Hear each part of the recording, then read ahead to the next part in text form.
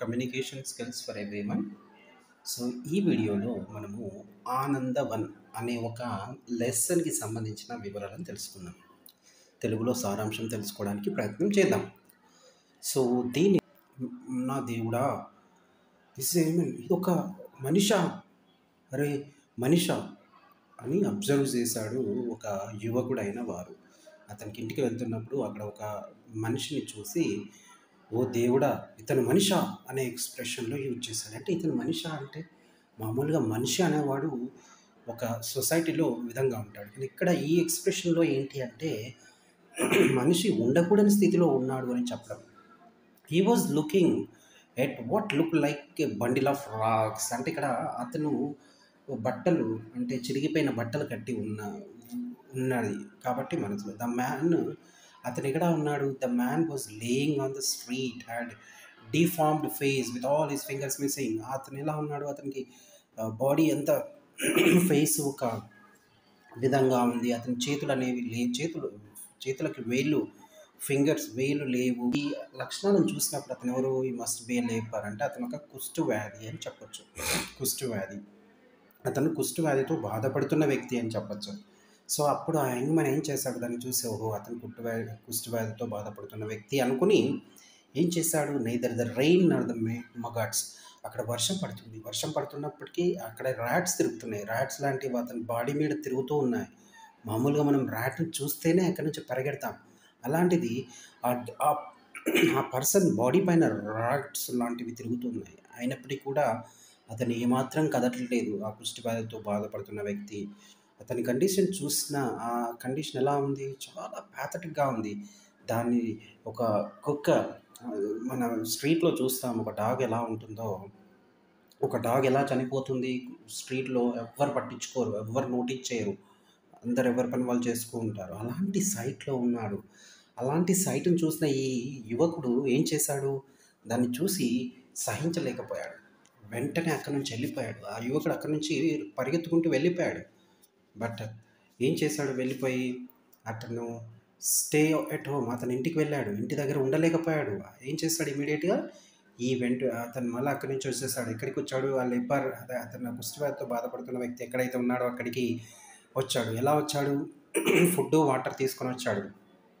అలాగే food water తీసుకొని రావడమే కాకుండా అక్కడ ఏం చేశాడైనా టెంపరీగా ఒక షెడ్ లాంటిది ఏర్పాటు చేశారు. అంటే అతనికి వర్షం పడుతుంది కాబట్టి వర్షం నుంచి తట్టుకునే విధంగా షెల్టర్ లాంటిది వేసేసాడు అలా వెయిట్ చేసినప్పుడు అక్కడ మ్యాన్ అతను ఏం చేశాడు? చనిపోయాడు. ఎలా చనిపోయాడు? ఈ యంగ్ మ్యాన్ చేస్తున్న సేవలలో మర్చి చనిపోయాడు.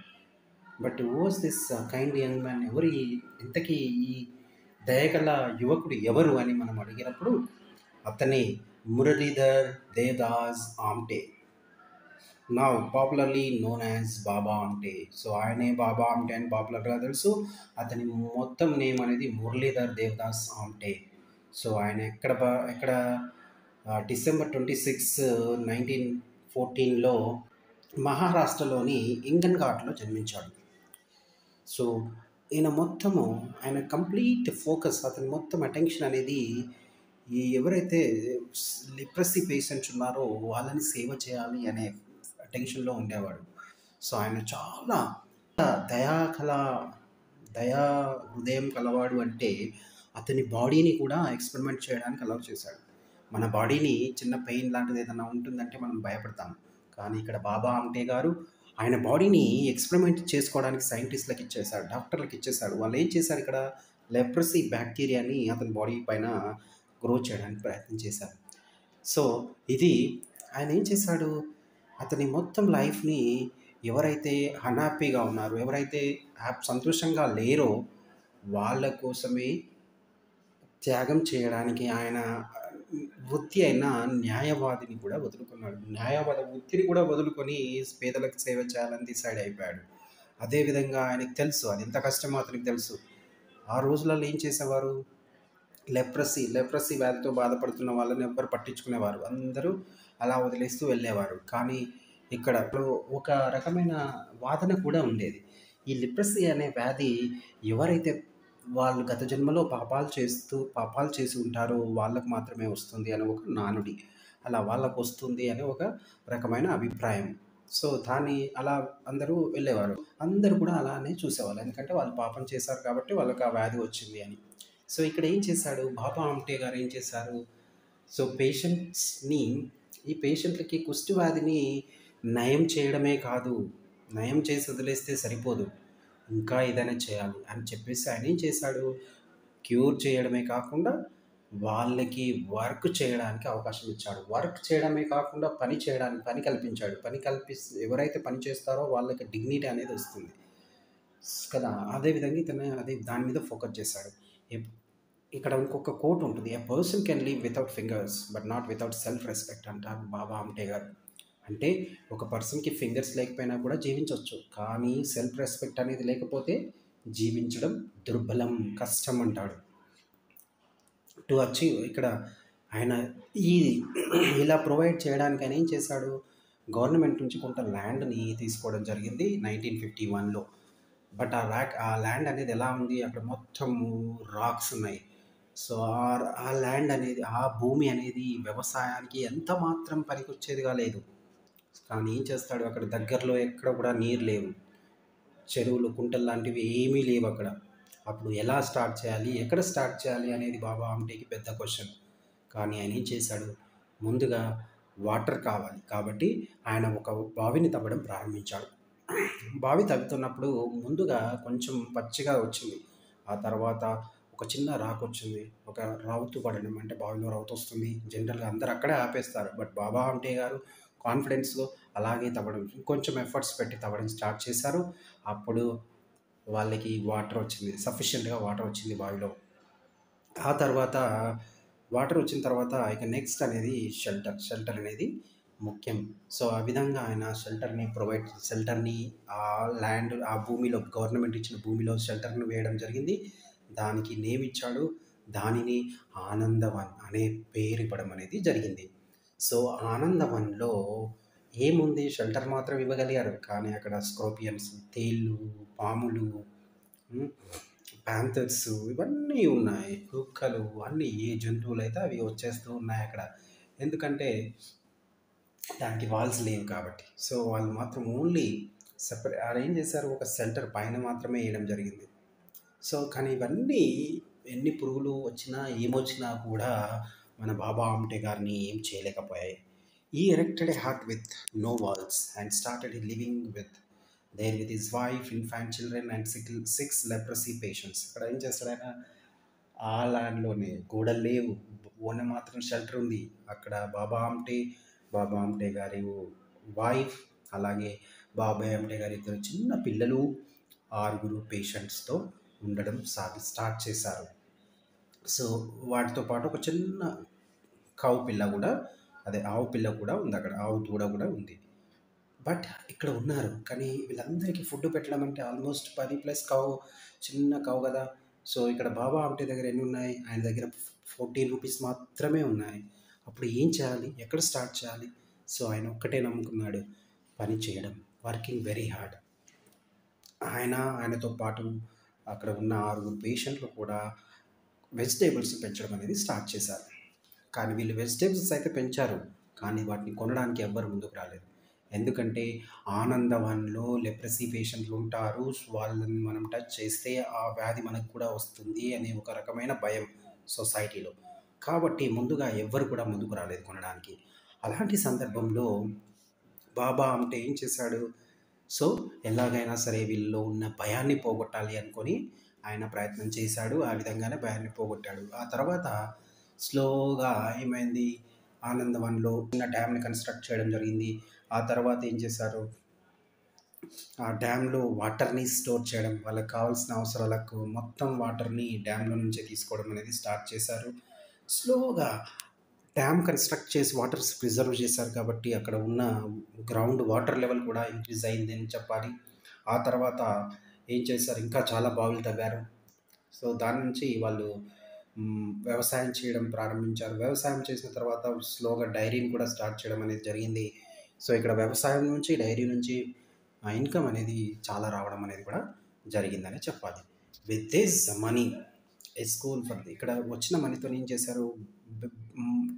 కళ్ళు లేని వాళ్ళకు ఒక స్కూల్ని అదేవిధంగా చెవు లేని వాళ్ళకు చె- చెవులు వినబడని వాళ్ళకు ఒక స్కూల్ని అలాగే హయ్యర్ స్టడీస్ చదువుకోవాలనుకున్న వాళ్ళకి ఒక స్కూల్ని అక్కడ ఆనందవన్లో కన్స్ట్రక్ట్ చేయడం అనేది జరిగింది. అదేవిధంగా ఒక వ్యవసాయ కళాశాలను కూడా స్థాపించడం అనేది జరిగింది అక్కడ. సో ఈ విధంగా అదేవిధంగా అక్కడ ఉన్న యువత ఎవరైతే ఉన్నారో వాళ్ళకి ట్రైన్ చేయడానికి అంటే చదువుకొని యువతకు ట్రైన్ చేయడానికి ఆశా యువగ్రామ్ అనే ఒక ప్రోగ్రామ్ని కూడా తీసుకురావడం అనేది జరిగింది. అక్కడ వాళ్ళకి ఆటో రిపేర్కు పెయింటింగు అలాగే గవర్నమెంట్స్ డిజైనింగ్ కుట్టులు కుట్టడము నేయడం లాంటివి నేర్పించడం అనేది ట్రైనింగ్లో భాగంగా నేర్పించారు. ఆ తర్వాత గోకుల్ అనేది ఒకటి ఆర్ఫన్ అంటే అనాథలకి ఇల్లును అలాగే ఉత్తరాయణం అనేది ఒకటి ముసలి వాళ్ళకి ఇల్లును అదేవిధంగా వీళ్ళందరికీ కూడా హాస్పిటల్స్ కూడా అక్కడ కన్ అక్కడ కట్టడం అనేది జరిగింది ఆనందవాన్లో ఇప్పుడు ఆ ఆ బిల్డింగ్స్ కట్టేటప్పుడు వాళ్ళు ఒకవేళ ఎర్త్కేక్ వస్తే స్ట్రాంగ్గా ఉండడానికి వాళ్ళు ప్రూఫ్ ఎర్త్కేక్ అగేనిస్ట్ ప్రూఫ్గా కన్స్ట్రక్ట్ చేయడం అనేది జరిగింది. అదేవిధంగా మనం అక్కడ చూడొచ్చు ఇక్కడ టాయిలెట్స్ అనేది చాలా క్లీన్లియెస్ట్ టాయిలెట్స్ అనేది కన్స్ట్రక్ట్ చేయడం జరిగింది ఆనందవన్లో. అదేవిధంగా వాళ్ళు ఎన్విరాన్మెంట్ ఎన్విరాన్మెంట్ని ప్రొటెక్ట్ చేయడానికి అక్కడ ఉన్న ఆనందవన్లో ఉంటున్న వాళ్ళందరూ చాలా జాగ్రత్తలు ప్రికాషన్స్ అనేది తీసుకోవడం జరిగింది. సో వాళ్ళు ఏం చేశాడు దానికి భాగంగా వాళ్ళు చాలా సాప్లింగ్స్ అనేది నాటడం చేశారు మొక్కలు నాటారు.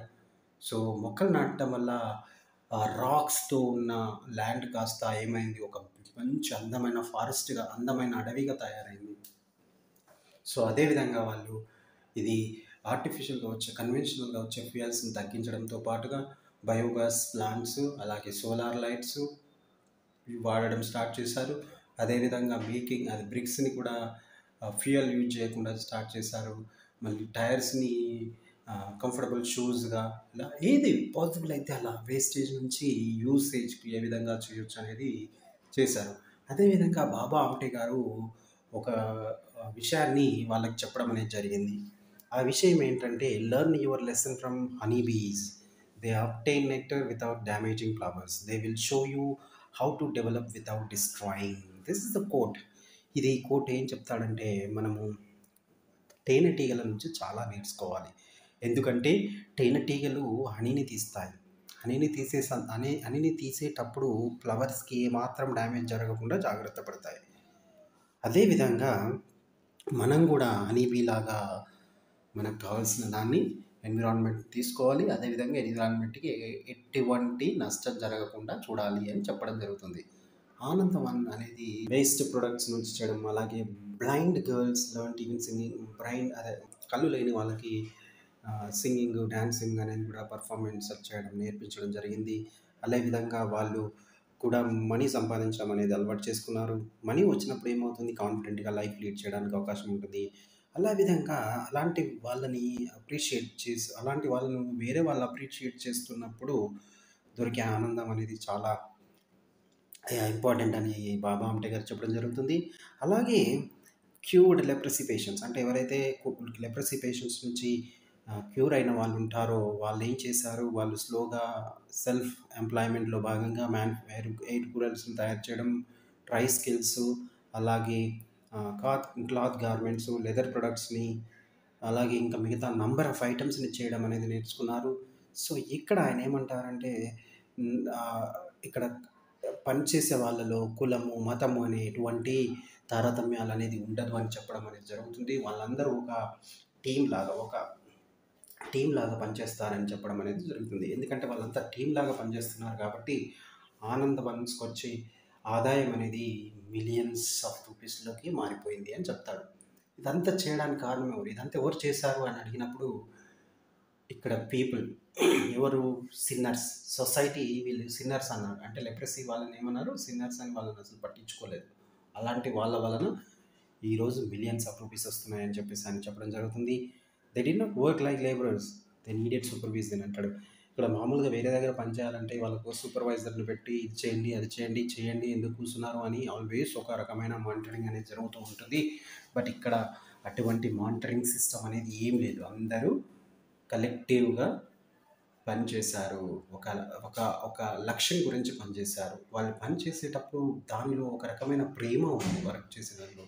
కాబట్టి ఆ ప్రేమతో పనిచేశారు కాబట్టి వాళ్ళకు మనీ వస్తుంది. మనీతో పాటు వాళ్ళకు ఒక రకమైన సెల్ఫ్ రెస్పెక్ట్ డిగ్నిటీ అనేది కూడా వస్తుంది అంటాడు. ప్రేమతో పనిచేసినప్పుడు ఏది కూడా కష్టం కాదు అనేది కాన్సెప్ట్. కాన్ఫిడెంట్గా లీడ్ చేయడానికి అవకాశం ఉంటుంది. సో కాబట్టి ఇప్పుడు వాళ్ళు సంతోషంగా ఉన్నారు. వాళ్ళ ముఖాలలో సంతోషం ఉంది. అని చెప్పడం అనేది మనం చూడొచ్చు. బాబా అంటే చారిటీ డిస్ట్రాయ్స్ వర్క్ బిల్డ్స్ అంటే ఎప్పుడైతే చారిటీ అంటే దానం చేయడం అనేది ఎవరికైతే మన ఊరికే డబ్బులు ఇస్తామో అది జన వాళ్ళని నాశనం చేయడం అనేది జరుగుతుంది. కానీ వర్క్ అనేది బిల్డ్ చేస్తుంది అంటాడు అంటే ఇక్కడ ఎవరైతే ఆకలి అవుతుందో వాళ్ళకి మనము ఫిష్ ఇవ్వకూడదు. We have to teach him how to catch fish అని చెప్తాడు. అంటే మనం ఫిష్ ఇవ్వడం కాదు ఆయన అలాంటి సందర్భాల్లో ఫిష్ని ఎలా పట్టుకోవాలో నేర్పిస్తే అతనికి ఎప్పుడు ఆకలైనా ఈజీగా తింటాడు అనేది కాన్సెప్ట్ ఇక్కడ.